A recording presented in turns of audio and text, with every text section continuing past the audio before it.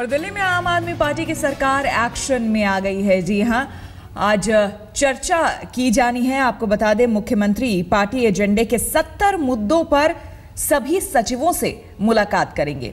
और आज दूसरे दिन भी, क्योंकि कल पहला दिन था जबकि जनता दरबार लगाया गया था, और आज दूसरा दिन है जबकि जनता दरबार लगाया जाएगा। हफ़्ते में तीन दिन ये दरबार लगाया जाएगा।